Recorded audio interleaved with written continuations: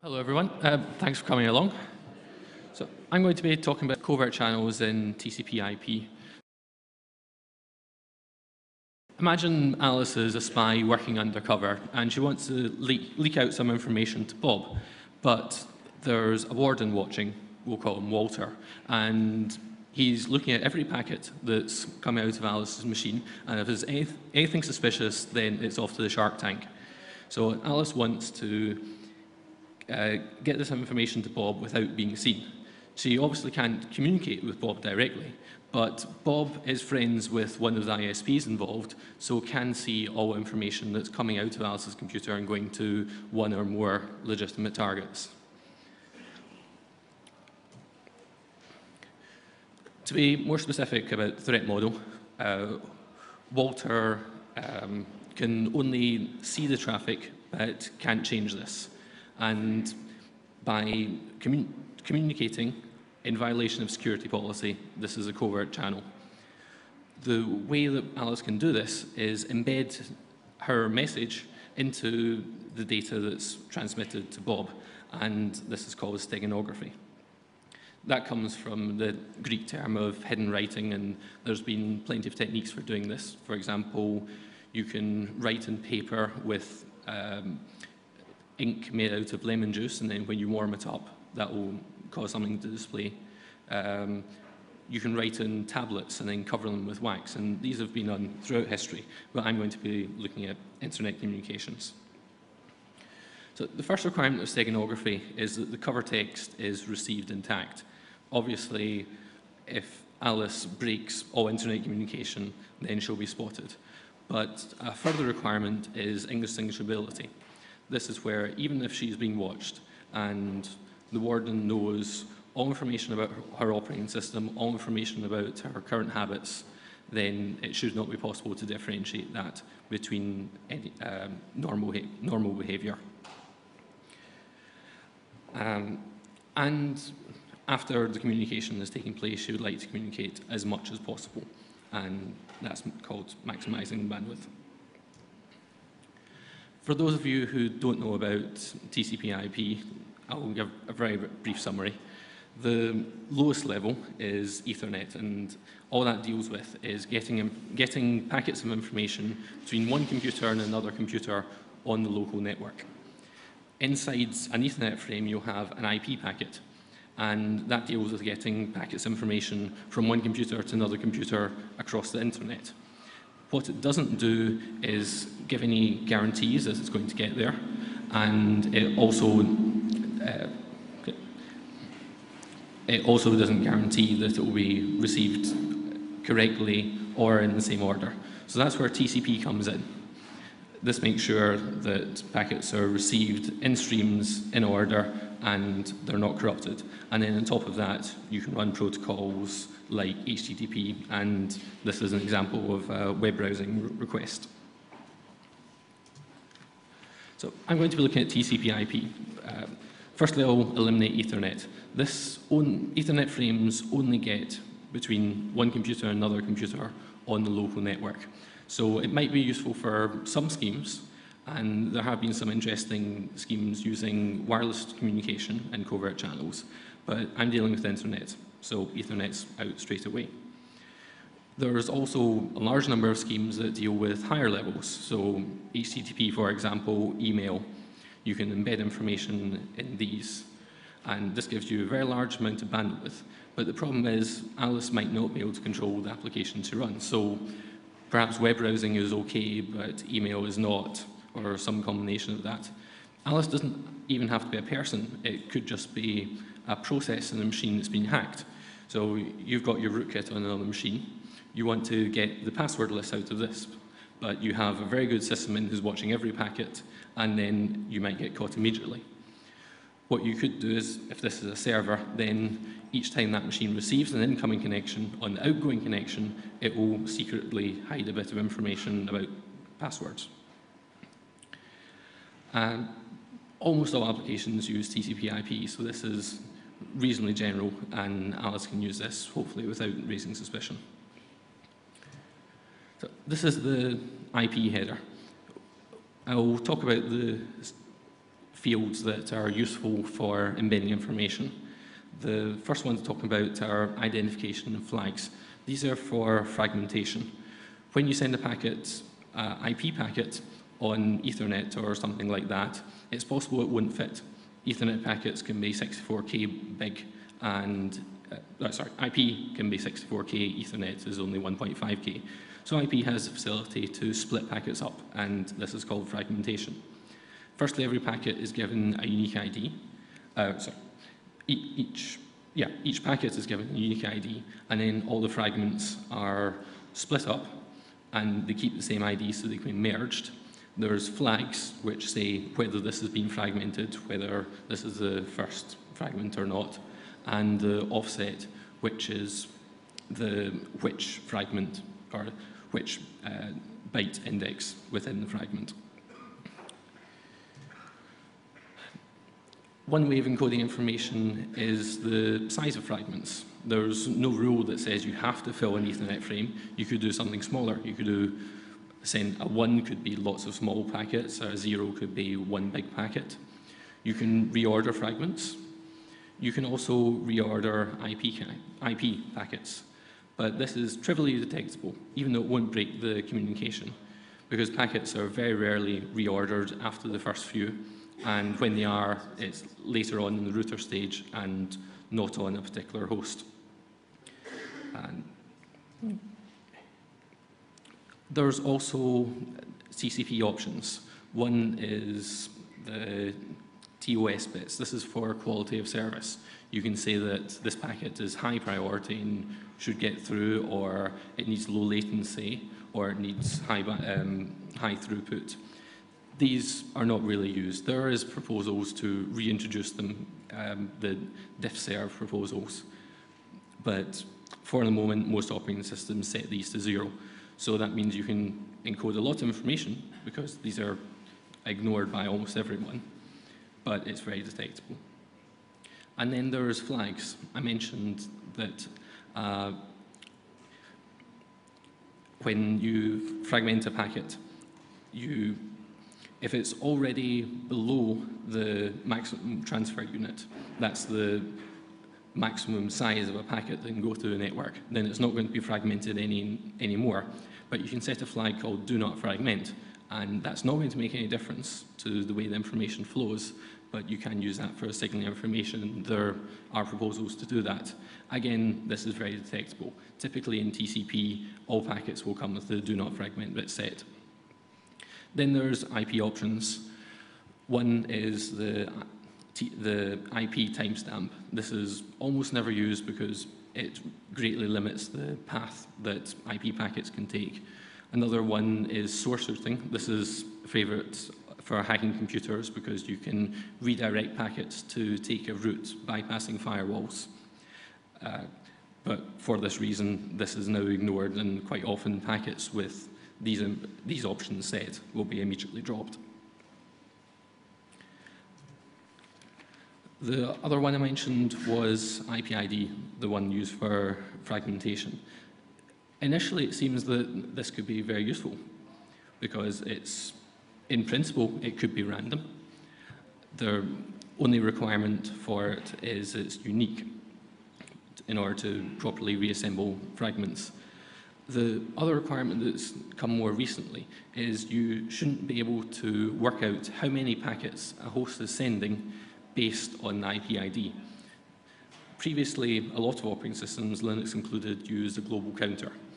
And that meant you could work out how many packets that machine had sent. So you'd ask it for, you send a ping and you get one. You send another ping, you get two, three, four. But if you start getting five, eight, then you know it's sending packets in between. This is used by Nmap to do idle scanning.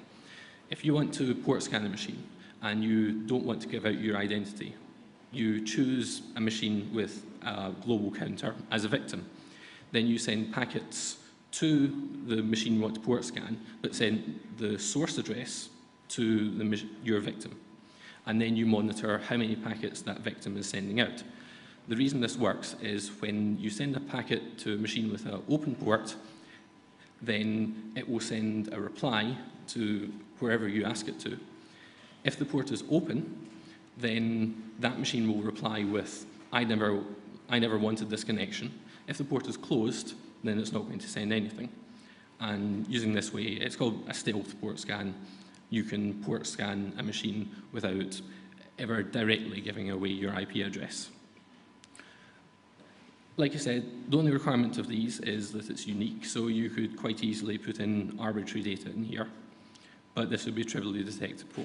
If you look at the, count, the IP IDs coming from Linux, it is a per host, per destination host counter. And this complies with the uniqueness requirements and it also complies with bypassing idle scanning. You could set the initial value of the counter and use that for many information. That probably won't work or you wouldn't be able to get very much information out of it because the first, the re reason it's not going to work is it depends on TCP, which we'll come to later, and the reason we won't be able to get much information out is that information on the counter is stored for quite a long time. So instead of going to look at TCP, the first one I'm going to look at is the options. There are many options. The most useful one for steganography is the TCP timestamp. Um, this is not the same as IP timestamp, and it's embedded in every packet you send out is somehow your perception of the time. Then when a reply is sent to that packet, you get the you get what you sent out in the first place, and this allows you to estimate the round trip time. There are also the flags. Um, these have the same problem as IP flags. They're generally very predictable. There's the urgent pointer, which is, in principle, has a lot of capacity. If the urgent flag is not set, then you, can put anything you like in the urgent pointer, but Linux does not do this, so you immediately spot that. So I'll go back to TCP timestamp. Uh, this is mostly predictable the, you can estimate the clock of another machine. But the least significant bit, at least in the slow network, is more or less random, or at least you'd hope. This means you can send out information in this least significant bit. There is a scheme which does this called DevCC. It's been implemented for the Linux kernel. And for low bandwidth connections, it's probably hard to detect, although not impossible. The difficulty comes in high bandwidth connections. If you can send many packets, or normally send many packets, in one tick of the clock, then if you want to send, say, a zero, and the timestamp coming up ends in a one, then you have to stop sending, and vice versa for ones. This means you, can, you have to slow down your internet connection. On average, you can only send two packets per clock tick. Slow connections, that's fine, but on fast connections, this will be detected. So the one I'm going to emphasize for the rest of the talk is the TCP initial sequence number. When you first make a TCP connection, both sides pick, um, pick a number. Uh, assume it's random for now. And that's the, called the initial sequence number. Thereafter, every packet in this connection contains that initial sequence number plus the number of bytes transferred so far. This allows, firstly, reliability. If you see a jump that's unexpected, then that means a packet's been lost and you can request it be transmitted. If you start seeing packets in the wrong order, then they've been, they're in the wrong order, and you can reassemble these into um, an appropriate stream. The other requirement is that the initial sequence number is hard to guess for hosts that are not involved in the conversation. This is necessary because one of the properties of TCP is it should be hard to spoof. So if I make a connection and then spoof my source address, I shouldn't be able to carry on that connection. The way this works is you have to do something called a three-way handshake in TCP. You have to send a packet to the remote host, it will send something back, and then you reply to that. The one it sends back will have the, the opposite size initial sequence number. You then have to send that back in order for the TCP connection to succeed. If you spoof your source address, you'll never get that packet and the connection will be pulled down. But if you can guess what it's going to be, because it's not a random number, then you can keep on carrying on this, com this communication. You can spoof a source address. Perhaps you can spoof the source address as an IP address inside this network. And up till quite recently, a lot of services used IP-based authentication, for example, um. And this will allow you to get run arbitrary commands on hosts you shouldn't. This isn't much of a problem now. Most hosts or most desktop operating systems now know how to produce non-random, um, uh, non-predictable IP uh, TCP initial sequence numbers. There are some problems with embedded hardware. The reason it might be useful for steganography is firstly it's big. It's 32 bits compared to the IP ID, which is only 16. And if it's unpredictable to everyone not involved, then it's also unpredictable to the warden. Remember, he knows the operating system, but he doesn't actually have access to the computer. And there's been a variety of proposals for using this, but doing it is a lot harder than you might expect. I'm going to talk about some schemes that have been proposed and how they slip up, and then I'm going to propose how this can be fixed. The first one is NUSHU. This is proposed at the last Communication Congress, and this is what got me interested in this subject. It's been implemented for Linux. Um, it's a very clever scheme. It has reliability. So when you send out a packet, firstly, there's reliability information embedded in it. Like a small version of TCP, it has a packet number, and that means if packets are lost or reordered, you can reassemble it, and then it's encrypted. And then there are tricks in the Linux kernel which hide it from someone who's on the local host trying to inspect it. What I'm going to look at is not the local host detection, but ones on the network. The reason encryption is used is to make IP, uh, make the initial sequence numbers look random, and on a first glance, they are unpredictable you would think that because they're unpredictable, that they're going to be random. But in fact, they're not. So here's a graph comparing Linux and NUSHU. The first thing you'll notice, uh, I'll explain what the axes are. On the x-axis is um, a particular initial sequence number. On the y-axis is the following initial sequence number. The first thing to notice about Linux is the scale it doesn't use anywhere near the whole space of initial sequence numbers. It only goes up, um, everything starts with 9, but it's fairly evenly distributed above that. The red dot in both axes is the mean for that axis. The other thing to notice is there are not large changes. So there's nothing in the top left-hand corner and the bottom right-hand corner, and those are the ones that signify changes. If you compare it to NUSHU, here, it's very evenly distributed, and it uses almost the whole space. So it's probably possible to detect NUSHU just from doing this analysis, but it should be possible to do better. This is how NUSHU encrypts packets, uh, encrypts uh, initial sequence numbers. The requirements from this are the initial sequence number output should look random, and it should be possible to decrypt every packet by itself.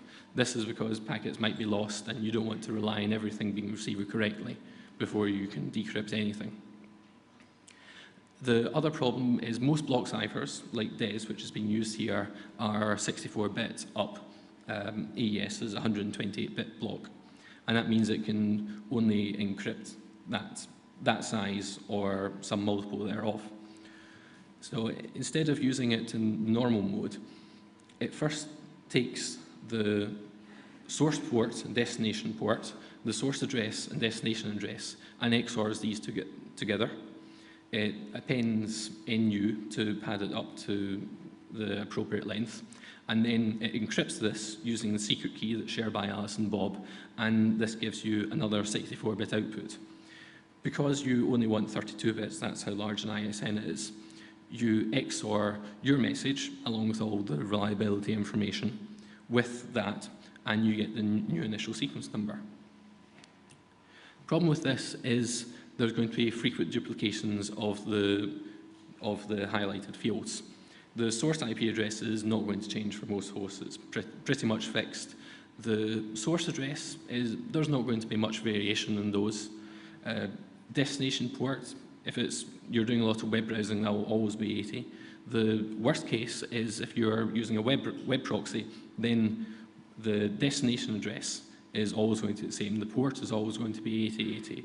The source address is always going to be the same, and you've only got the port number, the source port number left. At best, that's going to be 16 bits. In practice, it's going to be a lot less. When I've been looking at some uh, packet dumps, in practice, about half of the packets you receive are going to be duplicated in this way. In order to understand why this is a weakness, I'll give you a very brief background of XOR. If you take a, num a number and then XOR it with itself, you get zero. And all that means if you take a message, you encrypt it with a key, you take another message and encrypt it with the same key, and then XOR those two, then the result will be the two messages XORed with each other. And if both of these messages are the same, the result is going to be zero. But even if they're not, you can st still pick up patterns. For example, assume the message is all ASCII. In ASCII bytes, the top bit is always zero. That means when you XOR two, when you XOR two ASCII bytes, the top bit of that is always going to be zero, and there are similar patterns for anything else you can find. And this is the result. This is slightly different from the previous graph.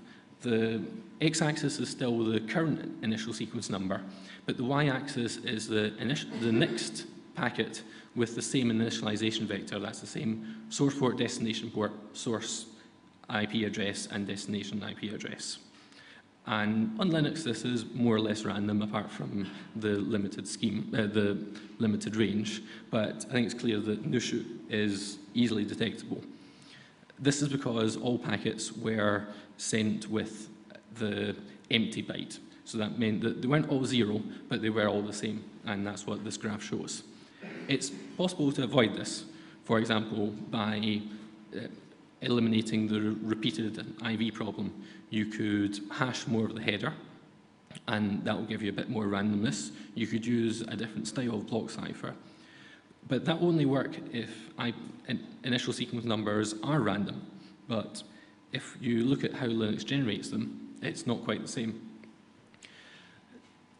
The requirement for initial sequence number should be unguessable by people not involved in this conversation. And the conversation is defined by the source, destination, port, and IP address.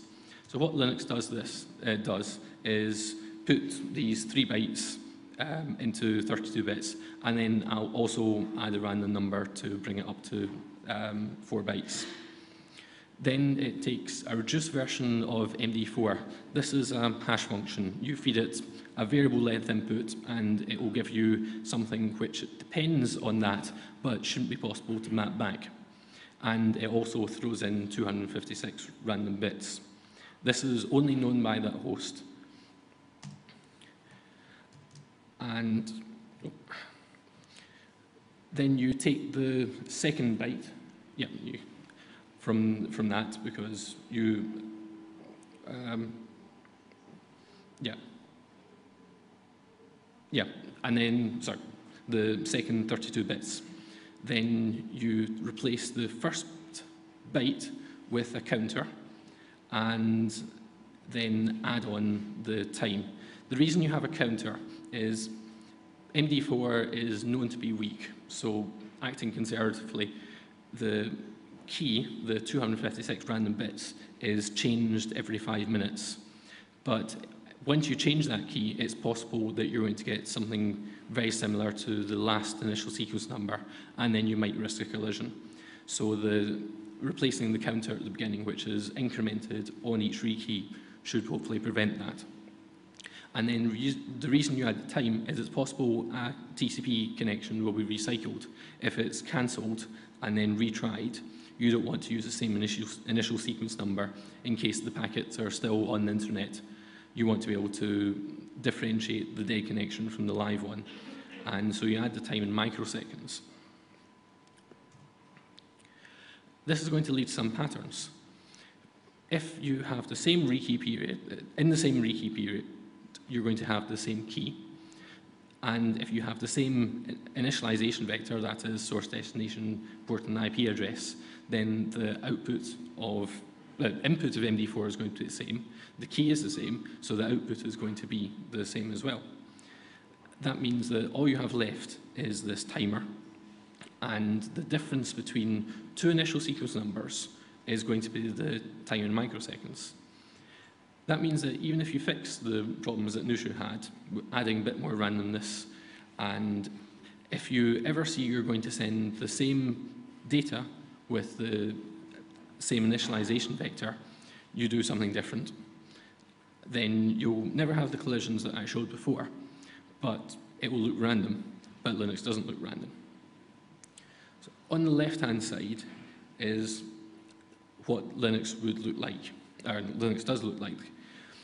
I've sent, tried to send packets out as fast as possible, with all with the same source port, destination port, source IP address, uh, and destination IP address. And they're all more or less clustered on the left-hand side of the graph because it, um, the Linux was able to send about one packet every two milliseconds. But on the y-axis, I've stored the difference in initial sequence numbers. And you can see in Linux, there's very good correlation. And in fact, if you look at, say, the packets at three milliseconds, that corresponds to a difference of about 3,000. That's because you're, that, that's, that's because the difference is due to that uh, one megahertz counter, which corresponds to microseconds.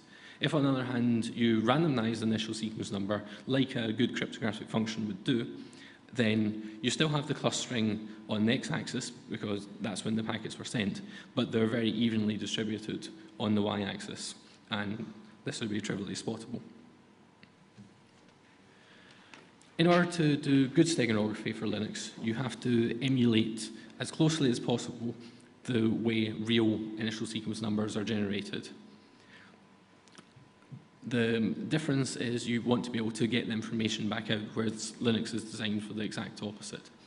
The way I propose to do this is you take the lower three bytes um, of the initial sequence number and replace that with your data. If you remember, that's from comes from MD4, so should is hopefully unpredictable.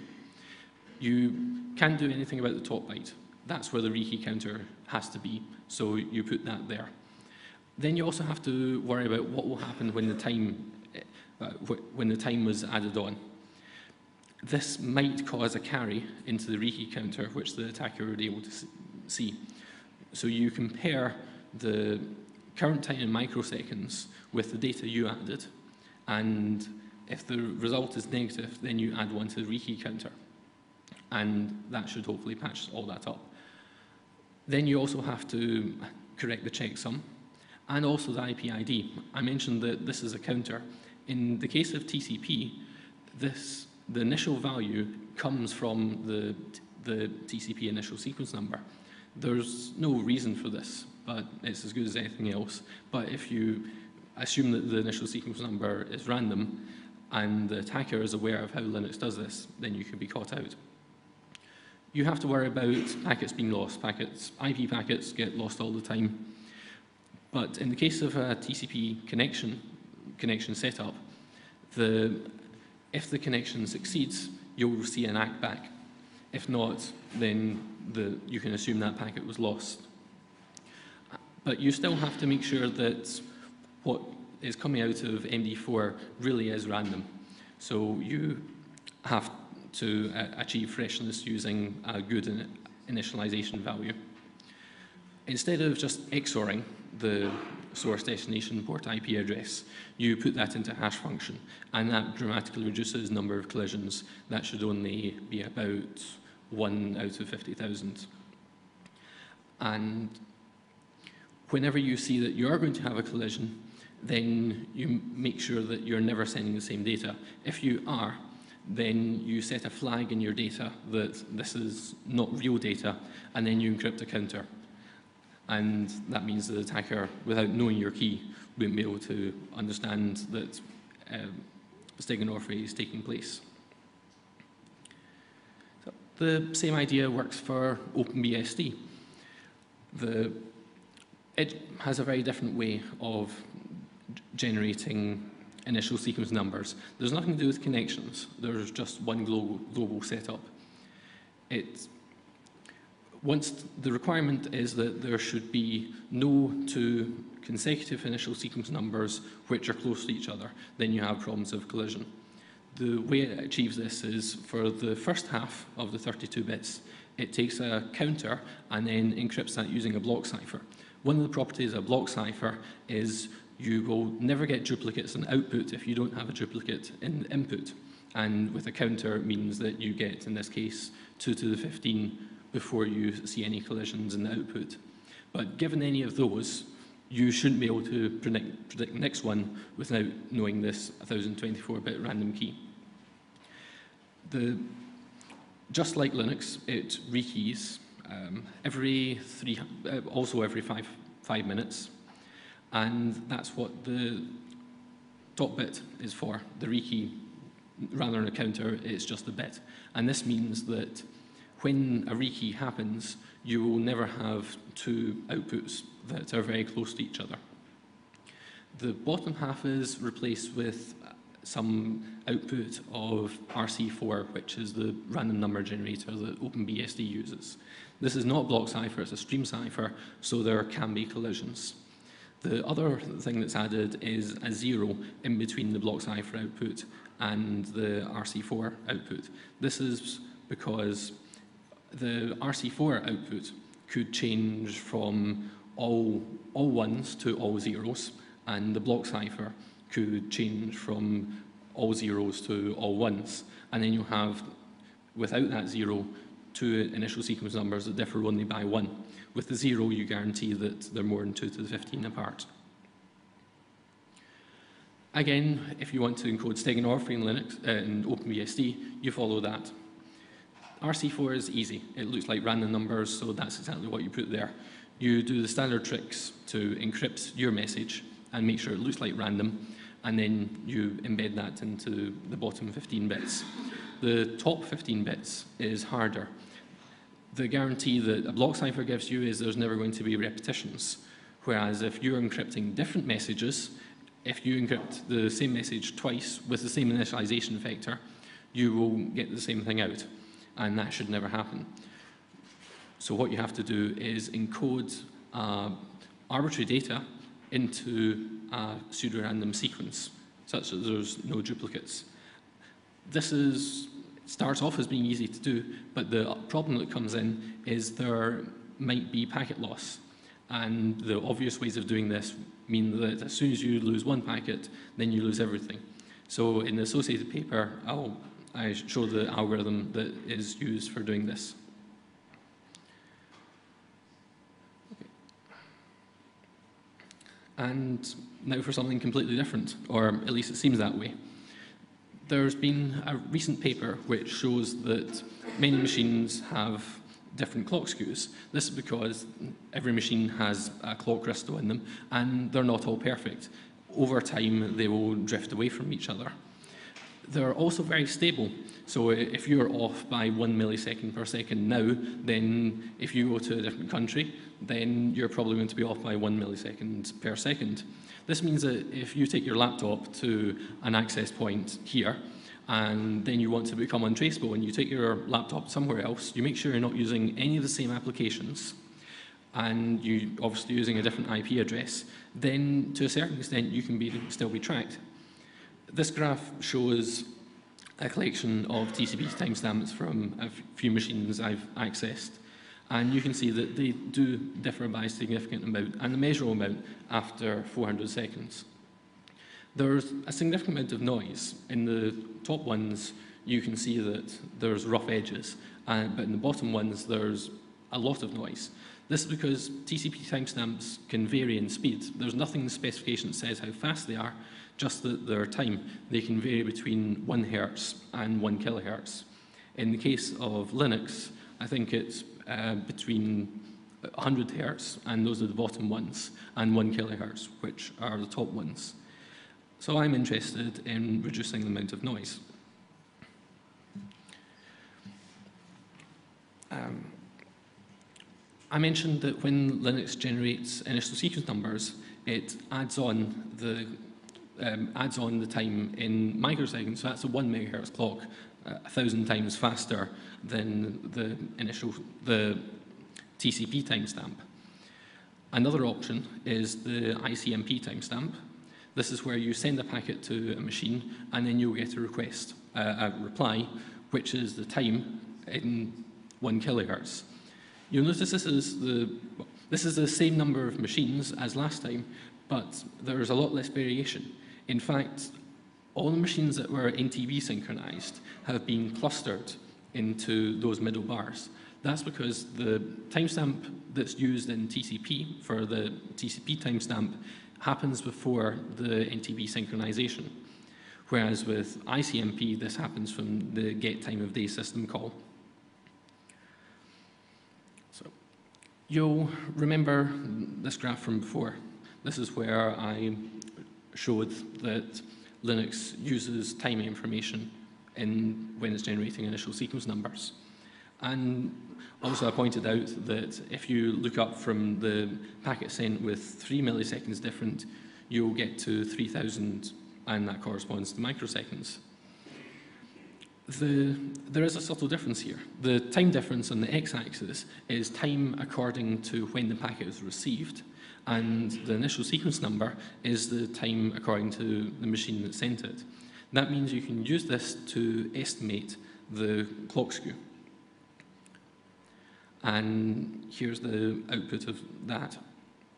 And first you'll notice that it has the same problem with NTP, but it's a lot smoother. And this does give some options for avoiding the NTP problem. NTP is designed not to track uh, short-term changes. It takes about six hours once it detects that the clock is probably incorrect before it corrects that. That's to stop it chasing the air conditioning because a clock crystal will change its speed subtly when the temperature changes. That means that if you zoom into these graphs, you'll be able to see that the, the clock skew changes and then TCP, the NTP will synchronize it. You also have to worry with the initial sequence number that there's going to be rekeys. This is quite hard to deal with because it's perfectly possible for the initial sequence number not to change when there's a rekey. The other thing that's a lot easier to handle with is the uh, when there's overflows. An initial sequence number is only 2 to 32 bits, and when you have a 1 megahertz clock, it is going to overflow. That's very easy to detect as soon as you see two packets from the same source destination port IP address that go from a high number to a low number within a rekey period, then you know that there's been an overflow. Okay, so in conclusion, there's many proposed steganography schemes that are detectable. The main reason is that they look at the specification, which says that this field can be anything, it could be random, and then assume because it looks vaguely random, it is random. In fact, this isn't the case. In the case of Linux, the initial sequence number is not random for very good reasons. That's to stop collision. The IP ID is not random for random reasons. And if you want to build a undetectable steganography scheme, because you're worried about someone watching the network traffic, then you have to follow the specification backwards and make sure there's no way of detecting that. So if you look at the paper I've got associated with, the, with this, it's not in the proceedings, but it is in my website, then I've got a suite of tests that should tell the difference between random, um, random data and appropriate IP IDs and initial sequence numbers this could also be used for fingerprinting. And the other thing I mentioned was the physical device fingerprinting. If, you're, if you think you're untraceable because you move your computer to a different continent, then that may well not be true. If you're worried about someone fairly powerful tracking you, then this should be a concern. You could try to turn off all sources of timing information. The obvious ones are ICMP timestamps are easy to turn off, the, as are TCP timestamps. But initial sequence numbers aren't. So you could look at options like the OpenBSD randomization, randomization of sequence numbers firewall. That has some possibilities. But I'm looking at other ways to extract timing information even from that. So if you're worried about that, you have to make sure that there are no sources of timing information that you don't expect. So I'll finish a bit early now, uh, but I'm happy to answer any questions. Thanks.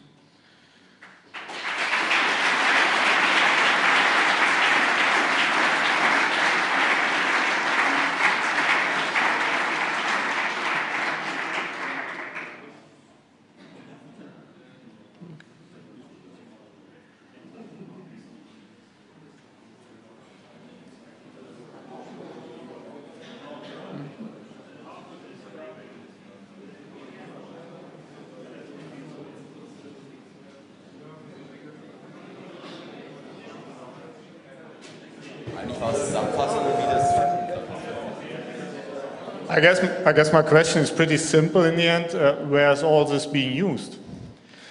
That's a good question. I am not aware of any case where a covert channel in the computer system has, used been, has been used for profit with the only exception is a project I did a couple of years ago where I slightly bent the rules in a, com a com programming competition in order to win an Xbox using a covert channel.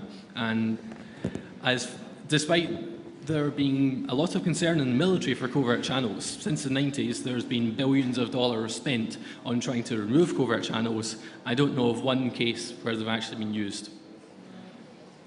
But if people were using them, they probably wouldn't say.